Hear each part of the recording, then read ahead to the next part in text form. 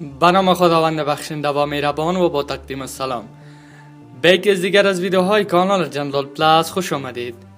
تقاضا می‌کنیم تا آخر ویدیو با ما بوده و این channel را نیز subscribe نمایید.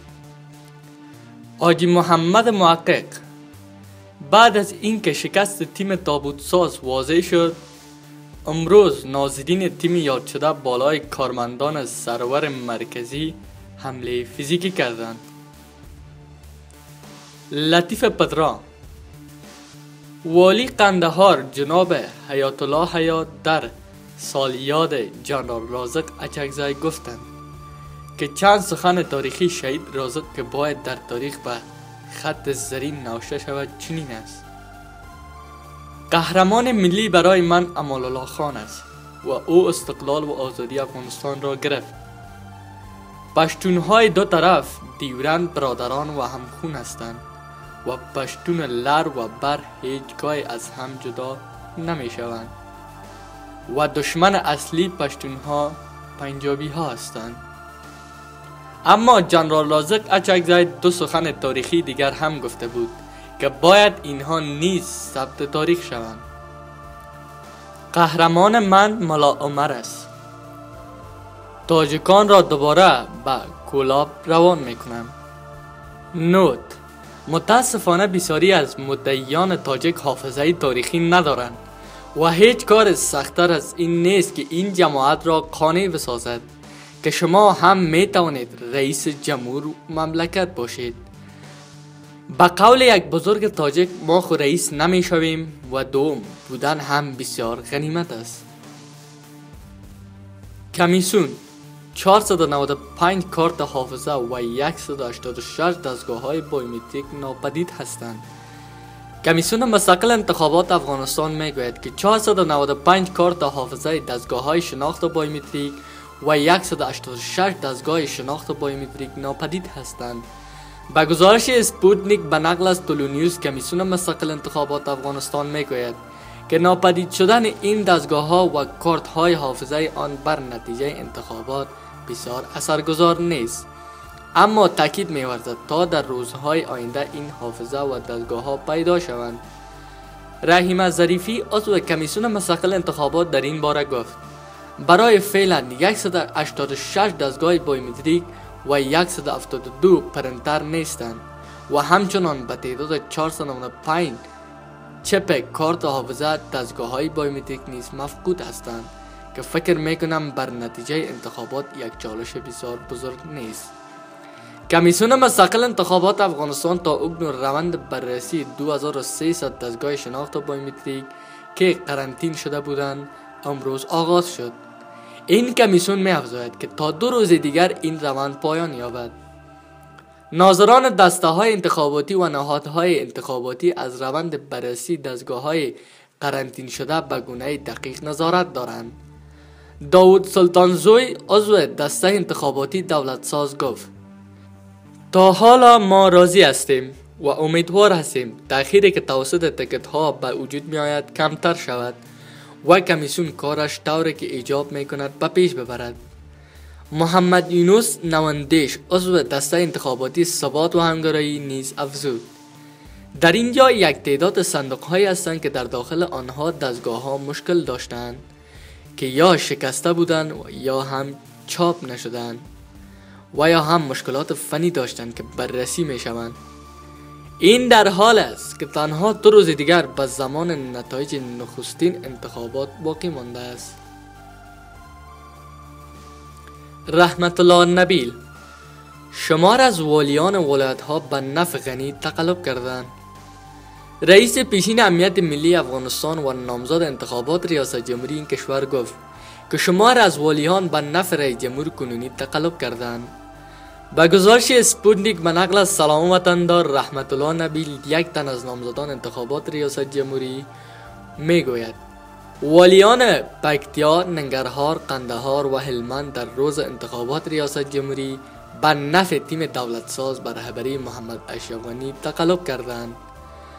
به گفته آقای نبیل تقلب به گونه منظم صورت گرفته است و شمار از افراد نیز به هدف تقلب از ولایت ها به کابل خواسته شده بودند در همین حال حالف دین محمد عظیمی معاون کمیسیون مستقل شکایت انتخابات در گفتگو می گوید بیشتر شکایت ها در ولایت های ننگرهار، بلخ، خوست، قندهار، کابل و هرات ثبت شدند. به گفته آقای عظیمی بیشتر شکایت ها از سوی تیم دولت ساز به رهبری محمد اشرف غنی و تیم ثبات فهمگرایی به رهبری دکتر عبدالله عبدالله درد شده است.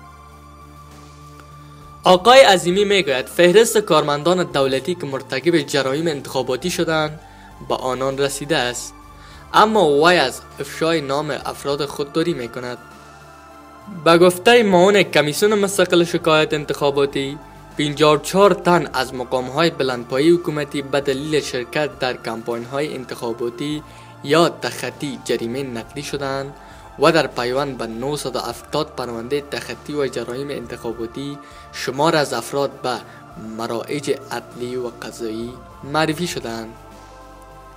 تاریخ برگزاری نشست چهارجانبه در مورد افغانستان در مسکو اعلان شد.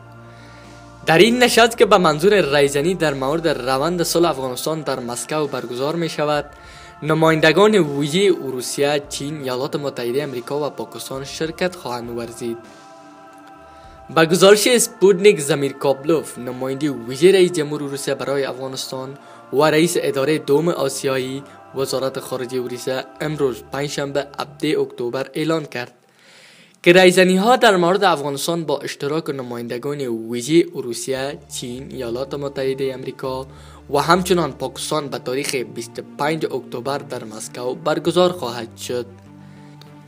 کشورهای مختلف میزبان نشست ها در مورد آغاز مذاکرات صلح افغانستان میان نیروهای مخالف با حکومت افغانستان می باشند.